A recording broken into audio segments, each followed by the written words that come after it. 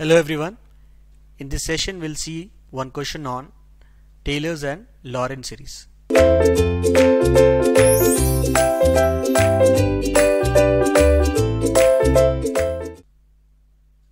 It says what type of singularity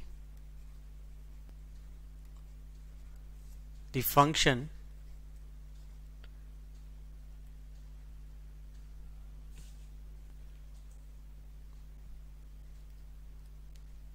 f of z equal to z minus sine z by z square has.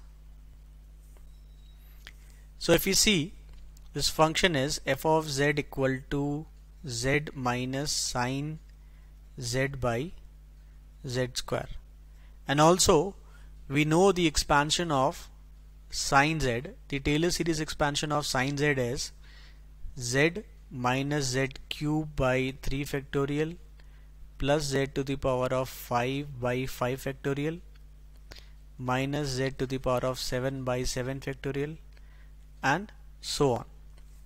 So this can be written as z minus z minus z cube by 3 plus z to the power of 5 by 5 factorial minus z to the power of 7 by 7 factorial and so on divided by z square. So clearly this z and this z will get cancelled and we will left we will be left with z with third power, fifth power, seventh power and so on. So this will become and divided by z square this will become z by 3 factorial minus z to the power of 3 by 5 factorial plus z to the power of 5 by 7 factorial and so on. So where on one side this f of z had singularity at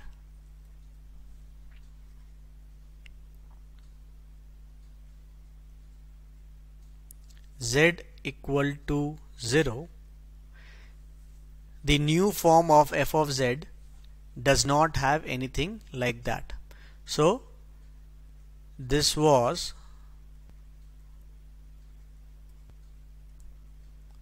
removable singularity.